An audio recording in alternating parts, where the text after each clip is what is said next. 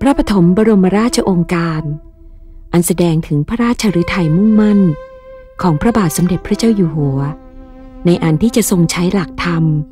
สร้างความอยู่ดีมีสุขของประชาชนชาวไทยทรงตั้งมั่นในทศพิธราชธรรม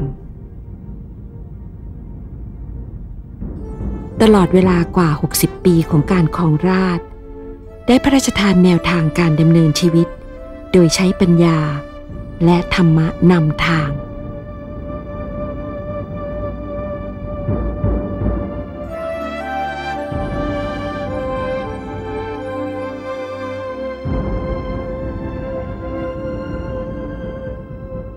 ในหลวงท่าน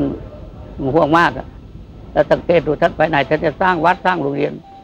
ถ้าบ้านไม่มีวัดไม่มีโรงเรียนมันก็จะเอาความรู้ที่ไหนต้องอาศัยกัน นะถึงจะเจริญรุ่งเรือง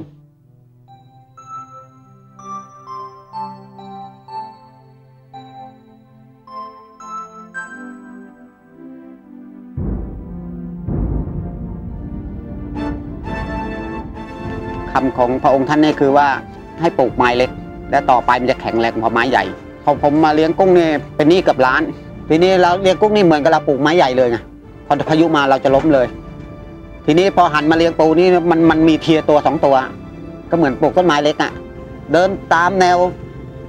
ของในหลวงที่ว่าขีดไว้ให้เราเดินนี่ ผมเอาว่า ไม่อดตายแน่นอนเลย เมื่อก่อนถ้าเราจะทำข้าวไร่เนะครับ ปุ๋ยมันก็ไม่อยู่ครับ ปุ๋ยมันก็ไหลลงไป อีกอย่างแล้วถ้าเราจะทำนาขั้นบันไดนี้ ปุ๋ยมันก็อยู่ข้าวมันก็ดีครับ ผลผลผลิตก็ได้เยอะ ก็ดีใจครับ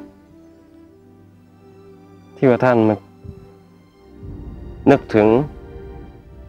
ประชาชนอยู่ที่ห่างไกลอย่างนี้ครับ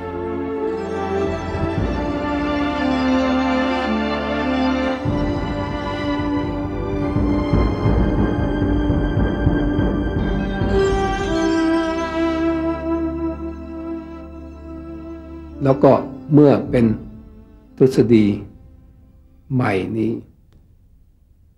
ก็มาเข้าเป็นเรื่องของเศรษฐกิจพอเพียง เพราะคนที่ทำนี้ต้อง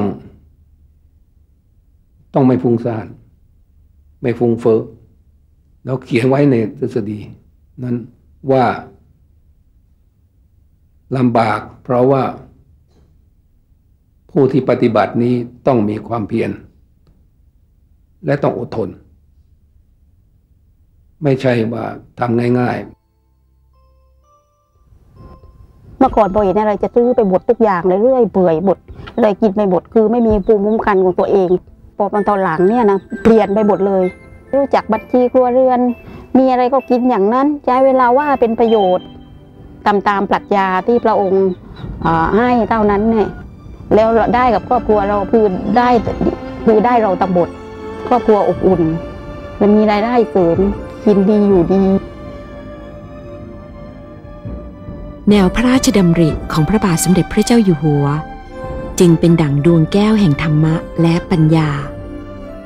ทรงเป็นดวงใจของแผ่นดินตราบนานเท่านาน